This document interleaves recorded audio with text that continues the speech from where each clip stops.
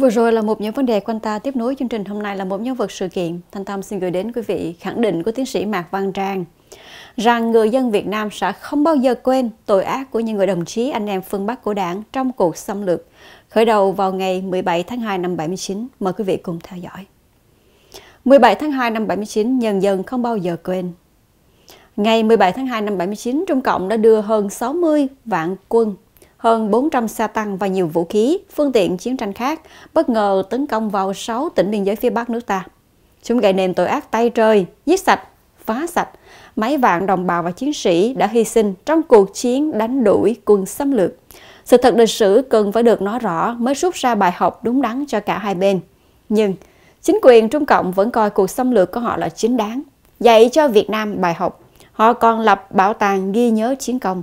Chính quyền Việt Nam lâu nay lại muốn xóa ký ức về cuộc chiến chính nghĩa của quân dân ta chăng?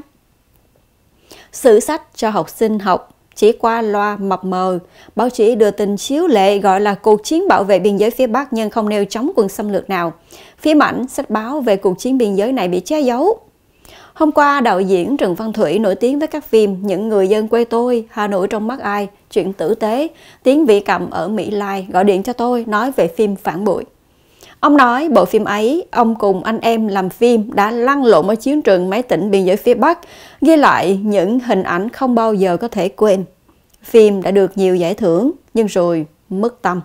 Bây giờ ông muốn tìm lại cũng không có cách nào tìm được. Bảo tàng cũng không có dấu vết về cuộc chiến. Cách đây dằm năm, tôi thăm bảo tàng tỉnh Quảng Ninh rất hiện đại đặt tại Hồng Gai. Thấy các hình ảnh tố cáo tội ác quân xâm lược Pháp, Nhật, Mỹ rất đầy đủ và những cuộc chiến đấu anh dũng của quân dân ta. Tôi hỏi, tại sao Quảng Ninh bị quân Trung Cộng xâm lược tháng 2 năm 79, gây bao tội ác và dân quân ta đã anh dũng đánh đuổi bọn chúng? Báo chí ngày đó từng nêu nhiều gương anh dũng chiến đấu, sao bảo tàng trống không?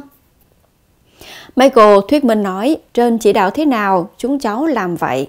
Tôi bảo các cô chuyển lời góp ý của tôi lên cấp trên, không được quên lịch sử như vậy.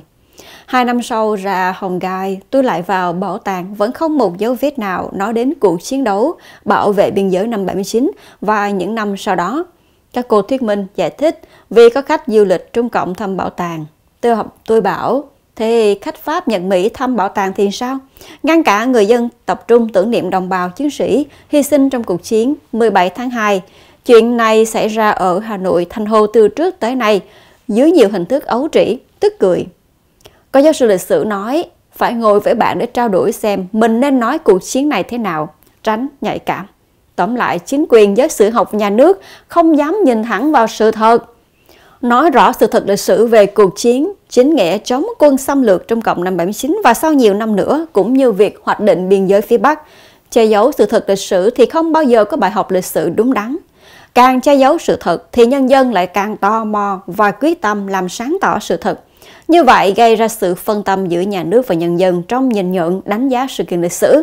Tôi biết có nhiều cựu chiến binh, văn nghệ sĩ vẫn nung nấu viết về sự thật lịch sử cuộc chiến này. Nhà văn Phạm Viết Đào có thể là một ví dụ tiêu biểu. Do quá say sưa viết về đề tài nhạy cảm, blogger Phạm Viết Đào đã bị bắt vào ngày 13 tháng 6 năm 2013 về tội danh lợi dụng các quyền tự do dân chủ, xâm phạm lợi ích của nhà nước, quyền và lợi ích hợp pháp của tổ chức công dân và bị kết án 14 tháng tù. Ra tù, ông càng dấn thân quyết tâm kiếm tìm tài liệu, làm rõ sự thật của cuộc chiến tranh tàn khốc mà bị che giấu. Và cuối tháng 11 năm 2022, tôi ra Hà Nội, may mắn được nhà văn Phạm Viết Đào ôm năm tập sách, tập 1, 2, 3, 4 bìa và tên như sau. Vì xuyên và thế sự Việt Trung đến tặng. Mỗi tập đều trên 600 trang, khổ 16-22.